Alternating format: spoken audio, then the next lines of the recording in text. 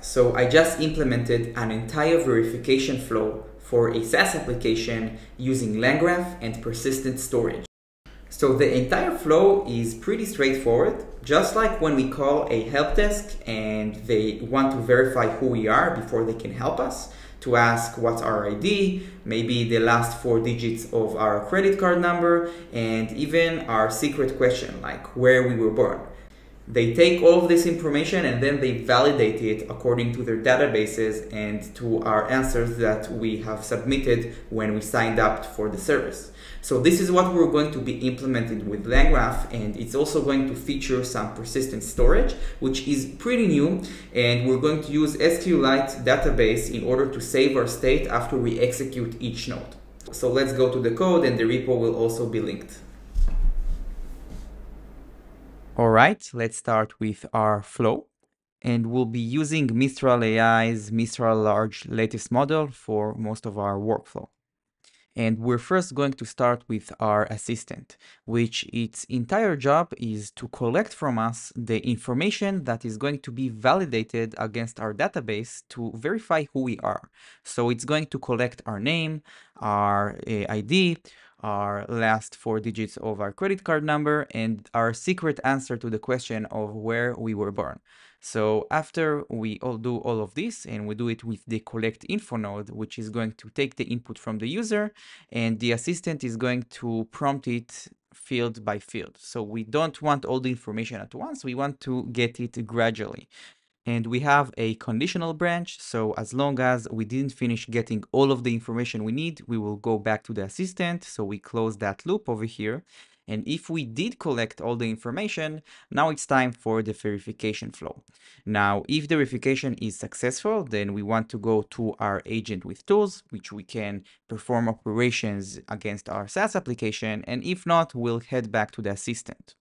Now, the agent with tools is going to go to safe tools because I haven't implemented any non-safe tools. So we have only one tool to get us information uh, of our user from our database. All right, let's see the demo. So I'm going to run this and I'm going to query what information do you have about me. Now notice that the thread ID here is 888 and this is going to be important because we're going to be using persistent storage which is going to help us make our application stateful. And what LangGraph is going to do for us is going to checkpoint our state into a persistent database. And here we're going to be using SQLite. And it's going to do that after every node's execution. So this will actually give us the ability to stop our graph execution to go drink some coffee and then to resume it from the same time. And this is very important when we want to implement real world use cases like getting feedback from the user and it will control where do we need to go in our graph. And we gave it the thread ID of 888 and usually this will actually be the session ID of the user. All right, so we asked our assistant to give us all the informations that it has on me. So this will be retrieved from our database. We have a tool for that. And let's continue in chat with our assistant. So we get back, I'm here to assist you. I need to collect information. Please give me your full name so I can validate in our systems. All right, let's go and write Eden Marco. And now our assistant is asking for us to give it our ID. And I want to show you our database, our SQL database, which LangGraphs created a checkpoints table inside it.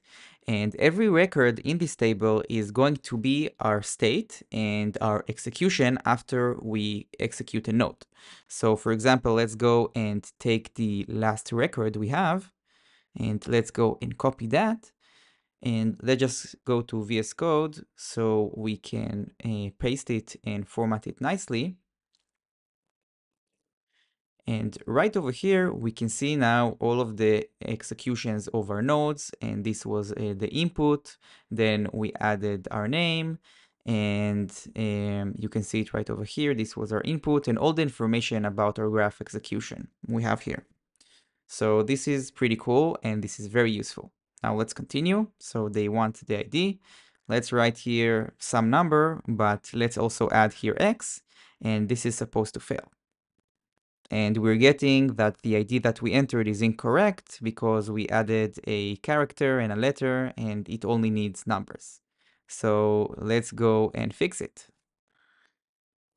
So I'm simply going to write here a number, which is going to match the number saved in our database. All right, so it prompted us that it now needs the city that we were born. And let's see what we have in our database. And we should have extra nodes that we executed and extra information. And we can see it right over here. Um, so if I'm going to take the last one, Let's just take it up a bit and let's take what we have here in the checkpoint. Let's format it. And now we can see we have also the provided ID, which is cool. So we can see that everything I'm inputting is matched from our database, double quotes. It's not really a database. It's a simple JSON file I wrote uh, with all of the information that I'm going to validate against it. All right, so we can see that we're prompted what city I was born. Let's stop this execution. Okay, so I'm going to stop everything. And we can see that we have here a file which is called checkpoint SQLite. And here LangGraph is saving and checkpointing the state upon each node's execution. Now, of course, I can use a remote database like GCP Cloud SQL or AWS RDS or Supabase, whatever I want. But right now I'm using it locally. So uh, if you're going to build some production applications that it is supported and you can actually do it.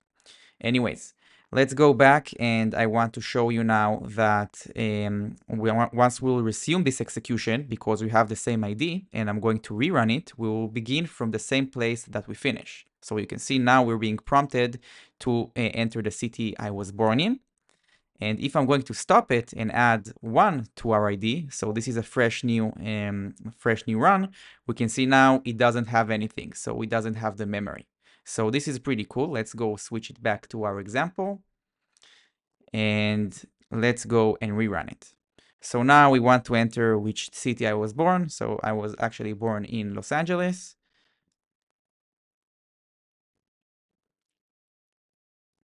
All right, so now it wants the last four digits of my credit card. And here I simply put 5555. So let's enter that.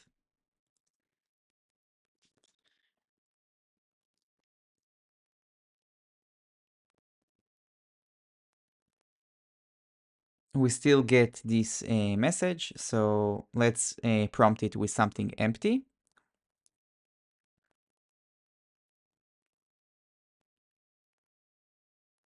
and we still got that we need to fill out our four digits.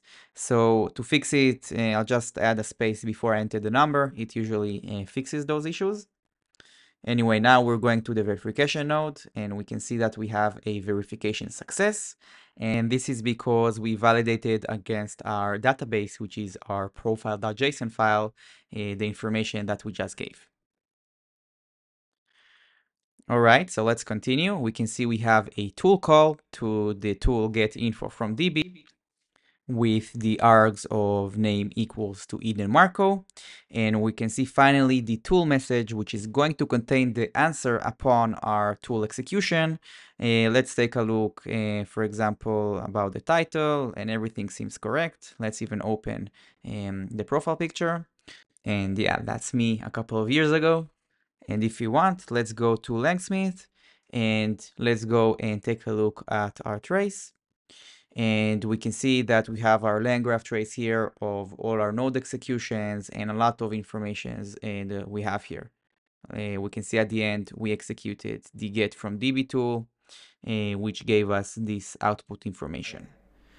Alright, so now I want to show you a bit of the code and by any means this is not production ready. There are a lot of cases I didn't handle and the code is not that clean, so it does need heavy refactoring, but let's see the gist of it and what I implemented. Of course, you can take a look at the repo in the uh, description of this video. All right, so we can see here we have our assistant node. So it's going to be using Mistral AI large latest. And the system prompt is basically that it is a system that needs to get information in order to validate it, but it needs to get it gradually. So we need to collect it one piece after another. We can see which informations do we need to collect, the name, ID, city of birth, and four digits of credit card. And we can see that we also plug in the user question, the history of our messages here, and to explicitly tell the LLM what we have collected so far. And the assistant node is pretty straightforward. It will receive the state as an argument. It will run uh, this prompt that we just saw, and then it will move into the collect node which is going to have at the beginning here a place to get the input from the user.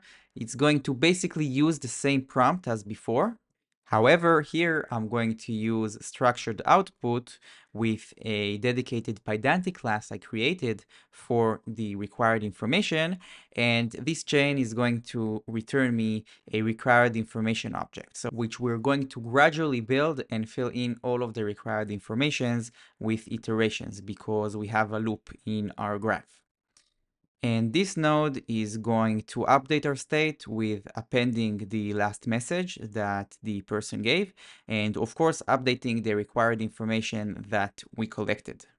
All right, so after we finish this node, we want to check whether we have collected all of the information.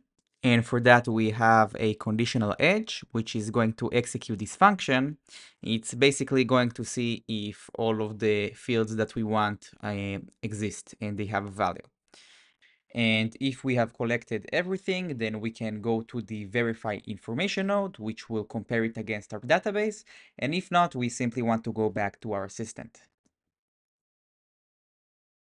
All right, so after we collect all the information, we want to verify it. So this is the function which verifies, which should access a real database, but right now it's simply loading this JSON file I created with some mock data. And it's going to compare the user input to supposedly the logged in user, which is going to be me. All right, our last node is going to be our assistant with tools which is going to simply decide which tool we're going to use. And let's have a look on our state. So our assistant graph state is going to hold our user question, our original question. It's going to have the required information. So this is we're getting from the user and we're going to update this in the state dynamically after we get the input from the user. We have the messages, which is going to be the history, and we have the verify flag, which is going to indicate whether we have successfully verified the required information and that it matched the information we have in our double quotes database. All right, so this is the file of the graph. So we have a bunch of conditional edges that we are building. For example, provided all details is going to direct us either to collect more information or to continue to the verification. The verified conditional step is going to tell us whether we can continue to use our agent with the tools or to go back to the assistant to gather more information. And the route safe no safe is going to decide whether this tool is safe, so it doesn't have destructive operations, or it's not. So I haven't implemented any other operations than reading, so it should always go to safe. And here we are creating the nodes. We're setting uh, the entry points. We're using also tool node. And yeah, we're simply connecting all the dots together until we have this beautiful graph we have here. Alright, so that was pretty much it. I didn't cover all of the code and you have the repository so you can review it later. Feel free to comment on my code and tell me what you think. Of course, this is not production grade code. This is simply a POC just to see how we can implement a verification flow within LangGraph. Anyways, I hope you enjoyed this video and thank you for watching.